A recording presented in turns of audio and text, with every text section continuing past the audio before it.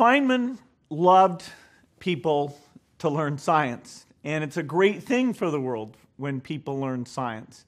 And so you know, I'm sure he'd be thrilled that now uh, all you have to do is, is click on those lectures, and there they are. Uh, so it's making physics accessible. And uh, that was something he put so much energy into. And, uh, you know, I love the idea that uh, everybody can have this.